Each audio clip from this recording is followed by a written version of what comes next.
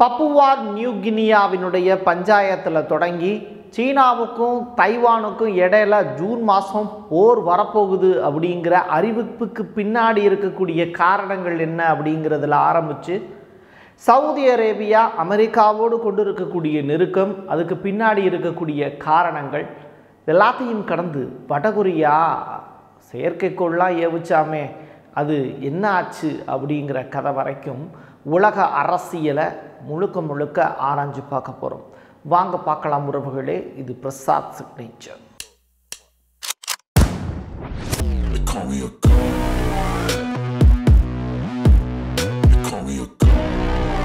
பாங் Leon இவங்க யாருன்னு உங்களுக்கு தெரிஞ்சிருக்க வாய்ப்பில்லை. ஏன்னா இந்த முகம் இப்போது தான் உலக நாடுகள் மத்தியில் ரொம்ப உன்னிப்பாக கவனிக்கப்படுது. அப்படி யாருப்பா இவங்க அப்படின்னு கேட்டால் சீனாவினுடைய அதிபர் இருக்கார்ல ஜி ஜின்பிங். அவருடைய ஒரே ஒரு மனைவி. இந்த மனைவிக்கு இப்போ ஏன் புதுசாக மார்க்கெட்டிங் பண்ணுறாங்க அப்படின்னு கேட்டிங்கன்னா இந்த மனைவியை நம்பி இருக்கக்கூடிய கணவன் தன்னோட நாட்டில் இருக்கக்கூடிய மக்களுக்கும் அந்த மனைவி சேவை செய்வதற்கான ஒரு வாய்ப்பை கொடுத்துருக்கார். அது எப்படிப்பட்ட சேவை அப்படின்னா மிலிட்ரிஸ் ஆனால் முடிவெடுப்பாங்கல்ல சிஎம்சி அப்படிம்பாங்க. அந்த சிஎம்சியில் ரொம்ப முக்கியத்துவம் வாய்ந்த டாப் மோஸ்ட் மிலிட்ரி மேன்ஸ் மட்டும்தான் இருப்பாங்க. அப்படி சைனாவினுடைய செட்டப்பு அந்த செட்டப்பில் டோட்டல் ஹெட் பொசிஷனில் இந்த சிஎம்சி சேருக்கு கீழே இருக்கக்கூடிய பொசிஷனுக்கு இவங்களை தேர்ந்தெடுத்திருக்காரு ஜி ஜின்பிங் சரி அந்த நாட்டில் வேறு நபர்களே கிடையாதா? எதற்காக இவங்கள போய் தேர்ந்தெடுக்கணும் அப்படிங்கிற கேள்வி இருக்குல்ல? கரப்ஷன் ஊழல் அதிகமாக வழுங்கி போய்விட்டது. கடைசி ஆறு மாதத்தில் மட்டும் பதினைந்து டாப் மோஸ்ட் சைனீஸினுடைய அந்த மிலிட்ரி மேன்ஸை வந்து ரிசைன் பண்ண சொல்லியிருக்காரு ஜி ஜின்பிங் மிலிட்ரி செட்டப் டோட்டலாக வந்து ஒரு மாதிரி டெஸ்ட்ராய் ஆகிடுச்சு அதனால் இதில் புது ரத்தம் பாய்ச்ச வேண்டும் அப்படின்னு சொல்லிட்டு இளைஞர்கள் பக்கம் தேடும்போது அவருக்கு சரியான ஆட்கள் கிடைக்கல. ரஷ்யாவினுடைய அதிபர் புட்டின் மாதிரி ஜி ஜின்பிங் அசைக்க முடியாத ஒரு தலைவராகவும் அதிபராகவும் வளம் வரணும் அப்படின்னு ஆசைப்படுறார். அந்த வகையில் தன்னுடைய மனைவியை அரியணையில் உட்கார வச்சு மிலிட்ரி சம்பந்தமான எல்லா முடிவுகளையும் இனிமேல் அவங்க தான் எடுப்பாங்க அப்படிங்கிற அறிவிப்பு கொடுத்துருக்காங்க. இது ரொம்ப ரொம்ப பரபரப்பாக பேசப்படுது. பட் இந்த லேடிக்கு மிலிட்ரிக்கான எந்த அனுபவமும் கிடையாது. இவங்க சிறந்த பாடகியாக இருந்திருக்காங்க. சிறந்த ஆர்ட் ஒர்க் பண்ணக்கூடிய நபராக இருந்திருக்காங்க. ஸ்கூலில் இருக்கக்கூடிய குழந்தைகளுக்கெல்லாம் கோச்சிங் கொடுத்துருக்காங்க. அப்படிப்பட்டவங்க உலகினுடைய அதிக மக்கள் தொகை கொண்ட நாடுகளில் ஒன்றாக இருக்கக்கூடிய சீனாவினுடைய மிலிட்ரியினுடைய டாப் மோஸ்ட் அத்தாரிட்டி பர்சனாக நியமிப்பது அப்படிங்கிறது உலக நாடுகளிடையே சிரிப்பையும் ஒரு சைடு யோசனையையும் ஏற்படுத்தி இருக்கு முடியாதது என்ன இருக்குது இதையும் அவங்க சாதிச்சு காட்டுவாங்களா இருக்கும். இன்னொரு புறம் இவங்க சீட் பொசிஷனில் வந்து உக்காந்த உடனேயே ரோபட் டாக்கை வந்து உருவாக்கியிருக்காங்க. அதற்கான அப்ரூவலில் சைன் பண்ணியிருக்காங்க. இந்த ரோபோட் டாக் அப்படிங்கிறது எதற்காக யூஸ் ஆகுது அப்படின்னா உளவு பார்க்கக்கூடிய வேலையை செய்கிறதுக்கு யூஸ் ஆகுதுங்கிறாங்க.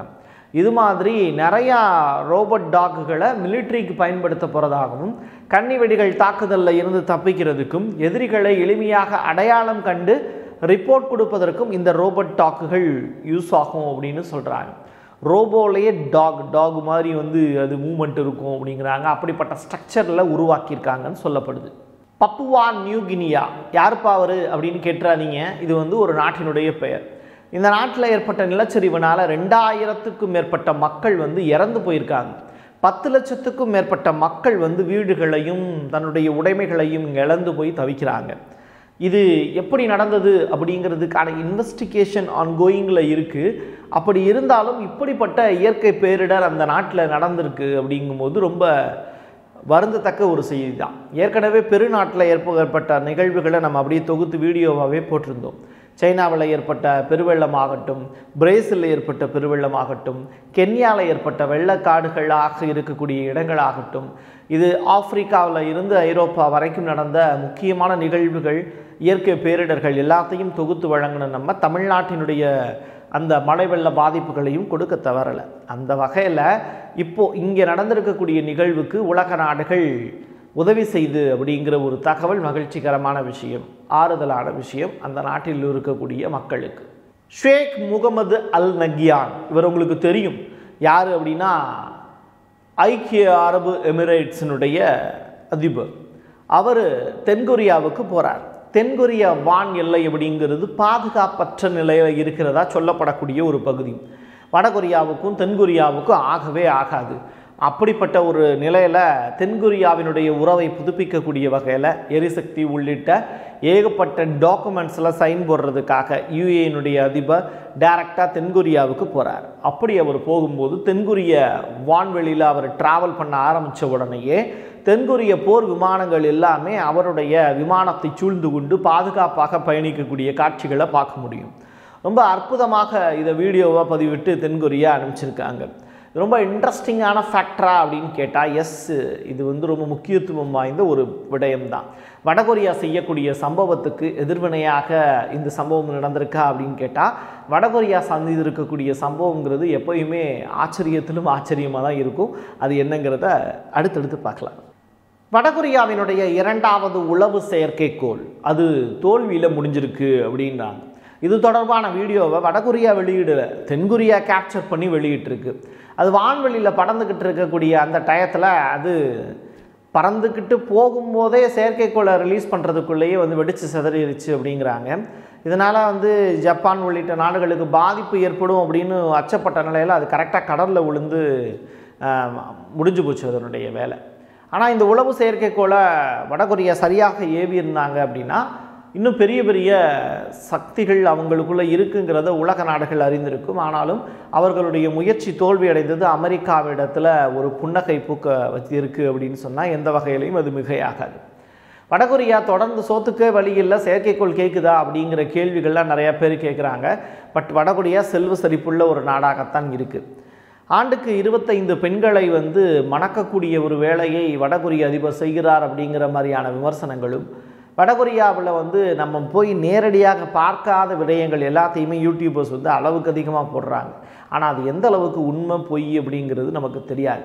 அதனால் அதுக்குள்ளே நம்ம போக வேண்டாம். பட் இந்த வடகொரிய அதிபர் பேசக்கூடிய விஷயங்களும் அவருடைய செயல்பாடுகளும் அமெரிக்காவுக்கு எதிரானதாகவும் ஏகாதிபத்தியத்துக்கு எதிராக எந்த ஒரு செயல்கள் செய்தாலும் அந்த நாட்டுக்கு ஆதரவு தரக்கூடிய நபராகவும் வடகொரிய அதிபர் இருப்பது சற்று மகிழ்ச்சியாகத்தான் இருக்குது இந்த மெக்டொனால்டு அப்படிங்கிற நிறுவனத்தை பற்றி உங்கள் எல்லாருக்கும் நல்லா தெரியும். இஸ்ரேல் சார்புடைய அந்த ஒட்டுமொத்த உணவும் டெலிவரியிலிருந்து தயாரிப்புலேருந்து எல்லாமே டவுன் ஆயிடுச்சு அதுக்கு காரணம் இஸ்ரேல் சார்ந்த கம்பெனி அப்படிங்கிறதுனால. பாலஸ்தீனத்தோடு அவர்கள் நடத்தி இருக்கக்கூடிய போர் அதன் காரணமாக வணிகத்தில் ஏற்பட்டு இருக்கக்கூடிய அடி இது எல்லாமே மெக்டொனால்டுக்கு பெரிய அளவிலான பாதிப்பை ஏற்படுத்துச்சு. அந்த நிறுவனம் வளர்ச்சி அப்படிங்கிறது டோட்டலாக படுத்து போச்சு. இப்போ என்ன பண்ணுறாங்க அதை மார்க்கெட்டிங் மூலியமாக மறுபடியும் மக்கள்கிட்ட கொண்டு போய் சேர்க்கறதுக்காக தள்ளுபடி விலையில் உணவுகளை சப்ளை பண்ணுறாங்க அஞ்சு டாலர் தான் அவங்க கொடுத்துருக்கக்கூடிய ரொம்ப அதிகப்படியான செலவு செய்து ஒரு பத்து டாலருக்கு உணவுப் பொருட்கள் தயாரிக்கிறாங்கன்னா அது டெலிவரியோடு சேர்த்து அஞ்சு டாலருக்கு மட்டும்தான் அதை விற்பனையே செய்கிறாங்க அப்படின்னு சொல்கிறாங்க இப்போது இப்போது இது சந்தையில் பாதிக்கு பாதி மெக்டொனால்டு விற்கக்கூடிய நிலைக்கு தள்ளப்பட்டிருக்கு. மெக்டொனால்டுங்கிற நிறுவனம் டோட்டலாக படுத்ததுனால பாலஸ்தீனியர்கள்லாம் மெக்டொனால்டை பார்த்து சிரிக்கக்கூடிய நிலையும் உலகளாவிய அளவில் இஸ்லாமிய சகோதரர்களுக்கு கிடைத்த வெற்றியாகவும் பார்க்கப்படுது. பட் நான் என்னதான் செஞ்சாலும் நான் தோக்க மாட்டேன். நான் வேலையை பார்க்க தான் போகிறேன் அப்படின்னு மெக்டொனால்டு எழுந்திருந்து இந்த வேலையை செய்கிறதுங்கிறது உலக மக்களை நம்பி தான் இருக்காங்க.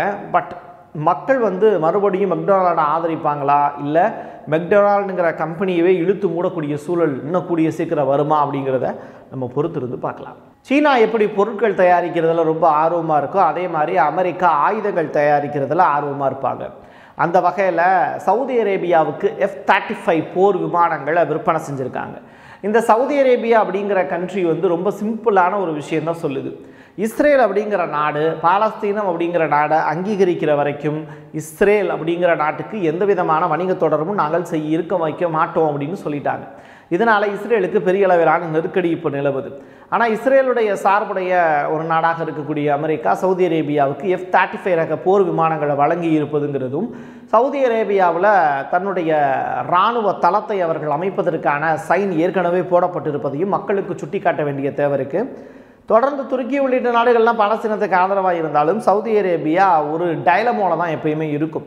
இருந்தாலும் பாலஸ்தீனத்துக்கு ஆதரவாக அவர்கள் பேசி இருக்கக்கூடிய விஷயங்களும் பாலஸ்தீனத்தை டூ டூ ஸ்டேஸ்ட் பாலிசி அதை வந்து நீங்கள் கண்டிப்பாக ஃபாலோ பண்ணி தான் ஆகணும் அப்படிங்கிற ஒரு விஷயத்த இஸ்ரேலுக்கு தொடர்ந்து சொல்லிக்கிட்டே இருக்கிறது மூலிமா சவுதி அரேபியா ஒரு இந்த இஸ்லாமிக் ஸ்டேட்ஸ் அப்படிங்கிற அந்த ஒரு கட்டமைப்புக்குள்ளே ஒரு நல்ல ரெவல்யூஷன் பார்ட்டியாக பார்க்கப்படுது. சீனாவுக்கு இப்போ பெரிய அளவிலான நெருக்கடி. தைவான் வந்து ஒரு பெரிய சிப் ஃபேக்ட்ரி வச்சுருக்காங்க. அந்த ஃபேக்ட்ரியில் மூலிமா உலகின் பல்வேறு நாடுகளுக்கு விற்பனை செஞ்சுக்கிட்டு இருக்காங்க. சைனா தயாரிக்கக்கூடிய பேட்டரியிலேருந்து செல்ஃபோன்லேருந்து எதையுமே இப்போ உலக நாடுகள் வாங்குறதுக்கு மறுத்துட்டாங்க. ஏன்னா ரொம்ப ஃபெயிலியரான ஒரு கான்செப்ட் அப்படின்னு சொல்கிறாங்க தரமான பொருட்கள் இல்லை அப்படிங்கிற ஒரு முடிவுக்கு வந்துட்டாங்க. ஸோ வேர்ல்டு மார்க்கெட் வந்து டோட்டலாக சைனீஸுக்கு படுத்துருச்சு. அளவுக்கு அதிகமான பொருட்கள் விற்பனை செய்கிறாங்க ஆனால் அந்த விற்பனை செய்கிறதுக்கு சரியான ஊதியம் கிடைக்குதான்னு கேட்டால் சைனீஸுக்கு கிடைக்கிறதில்ல. பட் தைவான் அப்படி கிடையாது. அவங்க இந்த சிப்பு உள்ளிட்ட பொருட்களை அதிகமாக தயாரிக்கிறாங்க. அது பெரிய ஃபேக்ட்ரி ஒன்று இருக்குது அந்த ஃபேக்ட்ரி இப்போது டவுனாக இருக்குது அப்படிங்கிறாங்க. ஆனாலும் சைனாவினுடைய பொருட்கள் எல்லாமே டோட்டலாக வந்து விற்பனைக்கு வராததுனால இந்த சிப் ஃபேக்ட்ரிஸ் தயாரிக்கக்கூடிய பொருட்களுக்கு உலகம் முழுவதும் நல்ல மார்க்கெட் இருக்குங்கிறாங்க. ஸோ சைனா இப்போது தைவானை நம்பி இருக்கக்கூடிய ஒரு சூழலுக்கு தள்ளப்படுது. அதனால தான் தைவானை வந்து தன்னோட சேர்த்துக்கிறதுக்கான வேலையை செய்கிறாங்க பட் தைவான் தனி ஒரு இண்டிவிஜுவாலிட்டி பர்சனாக உருவாயிருச்சு. அவங்க இப்படி உருவாக்குறது சைனாவுக்கு பிடிக்காததுனால சைனாவினுடைய கடல் எல்லையை தாண்டி தைவானுடைய கடல் எல்லைக்குள்ள போர் அந்த ஷிப்பெல்லாம் உள்ள உழவ விடுறாங்க சைனீஸ். உடனே அதுக்கு தைவானில் இருக்கக்கூடிய அந்த சிப் ஆப்ரேட்டர்ஸ் டேரெக்டாக சொல்லிட்டாங்க. எங்களுடைய உங்களுடைய ரோந்து வாகனங்கள் எங்களுடைய கடல் எல்லைக்கு வரக்கூடாதுங்கிற எச்சரிக்கையை விடுக்கிறாங்க. இருந்தாலும் ஜூன் மாதம் ஒரு பெரிய அளவிலான போர் வருவதற்கான வாய்ப்புங்கிறது சீனாவுக்கும் தைவானுக்கும் இடையில இருக்கிறதா உலக நாடுகள் பேசிக்கிறது. அப்படி ஒரு சம்பவம் நடந்தது அப்படின்னா அது உலகின் மிகப்பெரிய சம்பவமாக தான் இருக்கும். அது உள்நாட்டு போராக எடுத்துக்கொள்ள முடியாது. ரஷ்யாவினுடைய அதிபர் உக்ரைன் நாட்டை பற்றி சொல்லுவார்ல it's a special military operation அப்படின்னு. அந்த மாதிரியான வார்த்தைகளுக்கு சொந்தக்காரராக நிச்சயம் ஜி ஜின்பிங் இருக்க மாட்டார். நிச்சயமாக தைவானுக்கு ஆதரவாக அமெரிக்கா களமிறங்கி போராட்டம் நடத்தும் அப்படிங்கிறதுல மாற்று கருத்து இருக்க முடியாது. இது போன்ற முக்கியமான உலக செய்திகளை அறிந்து கொள்ள பிரசாத் சிக்னேச்சர் சேனலை சப்ஸ்கிரைப் பண்ணிக்கோங்க. நிறைய பேர் பார்க்குறீங்க ஆனால் உங்களுடைய நண்பர்களுக்கு பிடிச்சிருந்தது அப்படின்னா நல்ல தகவலாக இருந்தால் ஷேர் பண்ணுங்கள் என் கையெழுத்து என் மக்களுக்கானது உறவுகளை மீண்டும் ஒரு பதிவில் சந்திக்கலாம். நன்றி வணக்கம். நிறைய நல்ல தரமான வீடியோக்களை பார்க்கறதுக்கும் அதே மாதிரி செய்திகளினுடைய ஆழம் சென்று தெரிஞ்சுக்கிறதுக்கும் வரலாற்றை பேசுறதுக்கும் கேட்குறதுக்கும் எல்லாத்துக்குமா இருக்கக்கூடிய பிரசாத் சிக்னேச்சர் சேனலை உடனடியாக லைக் பண்ணுங்கள் ஷேர் பண்ணுங்கள் கமெண்ட் பண்ணுங்கள் மறக்காமல் சப்ஸ்கிரைப் பண்ணி பெல் ஐக்கானை கிளிக் பண்ணிடுங்க